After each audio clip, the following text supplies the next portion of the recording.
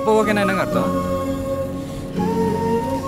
அப்போ ஓகே தான் அர்த்தம் செம்ம காமெடிங்க அப்புறமா ஞாபகப்படுத்துங்க சிரிக்கிறேன் இன்னும் என்னங்க நான் ஒரு டெப்டி கமிஷனர் எனக்கு கீழே ரெண்டு ஏசி பதினெட்டு இன்ஸ்பெக்டர் முப்பத்தாறு எஸ்ஐ இருபத்தேழு ஏட்டு ஒரு கிரேடு ஒன்று கான்ஸ்டபிள்ஸ்னு ஒரு முந்நூற்றி அறுபது பேர் சுருக்கமாக சொல்ல போனா பாதி சிட்டியோட பாதுகாப்பே நான் தான் வச்சுக்காங்களேன் ஆஹா இவ்வளவு வேலையிலையும் இந்த பஸ் எங்க போகுதுன்னு கூட தெரியாம நீங்க சொன்ன அந்த ஓகே அப்படின்ற அந்த வார்த்தைக்காக உங்க பின்னாடி உட்காந்து வரேங்க. முன்னாடி சிரிக்கிறீங்கன்னு பின்னாடி தெரியுதுங்க பட் முன்னாடி என்ன நினைக்கிறீங்கன்னு பின்னாடி தெரியலங்க. கழுத்து வலிக்குது. கொஞ்சம் முன்னாடி வந்து உட்காருங்களா? கம்மிங் கம்மிங் கம்மிங் என் பேர் மித்ரா. மெடிக்கல் ஸ்டூடெண்ட் இப்போ ஹவுஸ் சர்ஜன் பீரியட்ல இருக்கேன். என்னை பொறுத்தவரை இதுங்கிறது hollow muscular organ that pumps through the circulatory system. In vertebrates there are about four chambers. காத்து வரலனா ஜன்னலை திறந்து விட்டுக்குமா? ஆனா இதுங்கிறது அது இல்லை. நமக்கு பிடிச்சவங்கள டக்குன்னு கண்டுபிடிச்சு அதுக்கப்புறம் அவங்களுக்காக மட்டுமே துடிக்கிற ஒரு பியூட்டிஃபுல்லான விஷயம். உங்களை பார்த்து உடனே ஓகே சொல்லிட்டேன்னு யோசிச்சிங்களா? ம் ம் ம். உங்களை பார்த்த அந்த ஒரு நிமிஷத்துல எனக்கு என்ன தோணுச்சோ அதே தான் நூறு வருஷம் கழிச்சோ தோணும்னு நான் நம்பினேன். அதான் டக்குன்னு சொல்லிட்டேன். சாரி நான் என்னை பற்றி மட்டும் பேசிட்டு இருக்கேன். ஆட நமக்கு நடந்ததெல்லாம் பெரிய கொடுமைங்க. எல்கேஜிலேருந்து எம்பிஏ வரைக்கும் கோ எஜுகேஷனே இல்லாமல் வெறும் பசங்க படித்த காலேஜ் ஒரு கட்டத்துக்கு அப்புறம் எந்த பொண்ணை பார்த்தாலும் இவ தான் நம்மளா இவ தான் நம்மளான்னு யோசிச்சுக்கிட்டே இருப்பாங்க. சில பேர்கிட்ட ஐ லவ் யூ சொல்லியிருக்கேன் பல பேர் ஐ லவ் எல்லாம் சொல்லியிருக்கீங்களா? லவ் சொல்ல வெக்கப்படுறவன் வாழவே வெக்கப்படுறான்னு அர்த்தம்ங்க. பயங்கர பாஸ் அதாவதுங்க நம்ம எத்தனையோ பேரை ஓகே பண்ணலான்னு நினைக்கலாம்.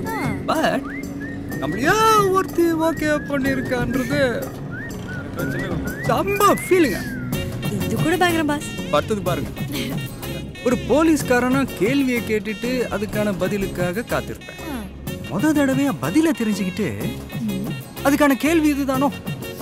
அப்படின்னு யோசிச்சனாலுங்க இது இன்னும் பயங்கரம் பாஸ் பதில சொல்லுங்க பாஸ் மேடம் எங்க போனோம் சார் எங்கே போனோம் எங்கே போகணும்னு சரியா சொல்ல தெரில. வாழ்க்கை ஃபுல்லாக இப்படியே போகணும்னு தோணுது. டிக்கெட் கிடைக்குமா?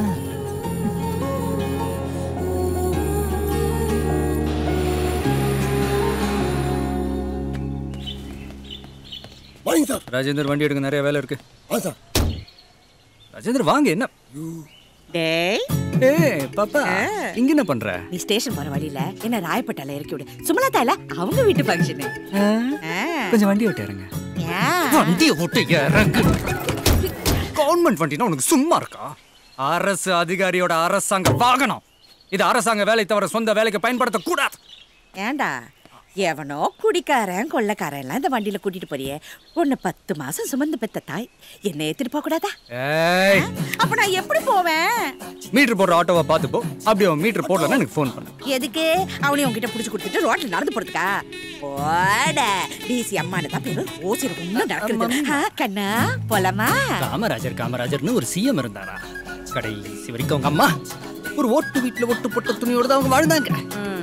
ஆமா நேர்மை. மிமிக்ரி நல்லா இருக்கு. என்னடா? ஆட்டோ! ராஜேந்திரா உன் ஷூலேஸ் கல் இருக்கு. தேங்க்யூ வெரி மச் ஆ மம்மி!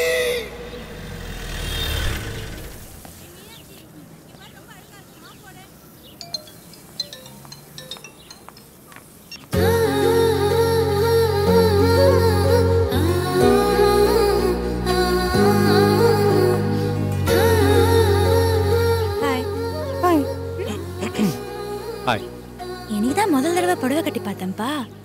பார்த்தா எனக்கே அழகா இருந்துச்சு. சரி இந்த அழகெல்லாம் வேஸ்ட் ஆயிடக்கூடாதுன்னு தான் பாஸ்க்கு ஃபோன் பண்ணேன். ஓ. அழகா ரசிச்சிட்டிங்களா? நான் போலாமா? இந்த எக்ஸஸ் அழகு எங்க போகுதுன்னு தெரிஞ்சுக்கலாமா? ஃப்ரெண்டோட வளகாப்புக்கு. எதுல போகுது? ஆட்டோல தான். அத்தானோட இத்தான் பெரிய வண்டி காத்து வாங்கிட்டு போகுது. நீங்க ஆட்டோல போக போறேன்னு சொல்றீங்களே. இல்லப்பா கவர்மெண்ட் வெஹிக்கிள் கவர்மெண்ட்னா என்ன? கவர்மெண்ட்னா என்ன ராஜேந்தர்? சார் நீங்களே பெட்டரா ஏதாவது யோசிச்சுட்டு சொல்லிடுங்க sir well கவர்மெண்ட்னா for the people by the people of the people என்ன ராஜேந்தர் ஆமா ஆமா நீங்க வாங்க நம்ம வண்டியிலே போலாம். ஆ, என் ஃப்ரெண்ட்ஸும் வரலாமா? அப்கோர்ஸ் பேபி தாராளமா பின்ட்ரில மூணு பேரும் உட்காரலாம். Rajendar yes sir Adyar to Besant Nagar ஷார்ட்டா எப்படி போறது? ஃபாஸ்டா போனா அஞ்சே நிமிஷத்துல போயிடலாம். செங்கல்பட்டு பைபாஸ் எடுத்து வெட்டி ஹில்ஸ் வழியா மதுரை ரோட பிடிச்சோம்னா ஷார்ட்டா ஒரு டூ ஹவர்ஸ்ல போயிடலாம் sir. Yes sir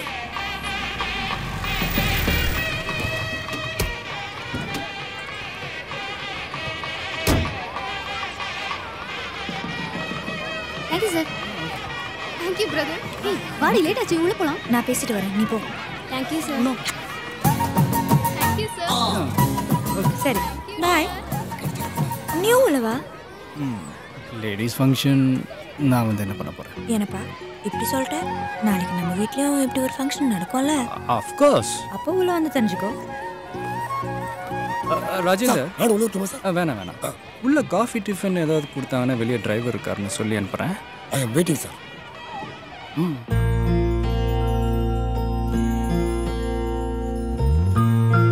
தாய்மை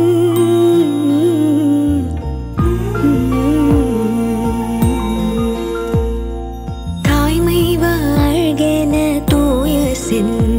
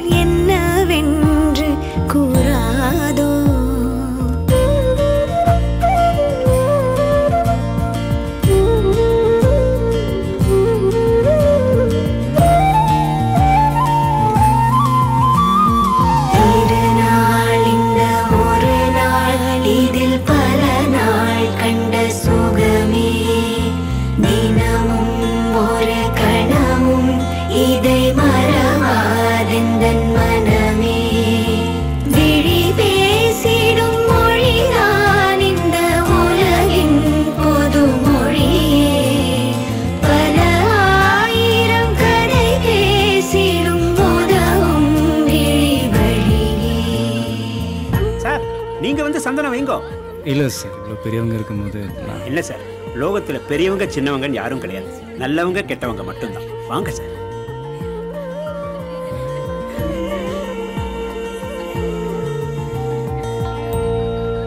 கண்ணு. மே? காமராஜர் காமராஜர்னு ஒரு சிஎம் இருந்தாரா?